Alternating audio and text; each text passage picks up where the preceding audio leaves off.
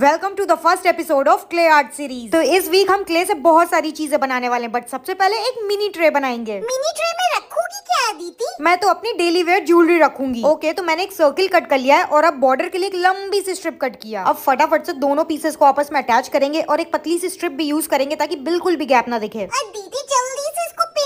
अरे हाँ बाबा ये ड्राई हो गया और नेक्स्ट अब पेंट करने की ही बारी है तो मैं इसको दे रही हूँ वाटरमेलन थीम बिकॉज यार समर इज बैक तो सर्किल की बाउंड्री मैंने फिलहाल के लिए छोड़ दिया है बिकॉज वो व्हाइट कलर की होगी और पिंक में मैंने थोड़ा सा रेड भी मिक्स कर दिया है and now it's time for तो सीट मैंने बना दिया है बट अब मैं चाहती हूँ ग्रीन थोड़ा और रियलिस्टिक लगे जिसके लिए मैं स्पॉन्ज से इफेक्ट दे रही हूँ वॉर्निश यूज करके फटाफट से पेंट को सील कर देंगे तो ये था लास्ट प्रोसेस चलो जल्दी से कमेंट में बताओ कि clay art series episode two में मैं क्या बनाऊं and mini tray is ready दीदी बहुत मजेदार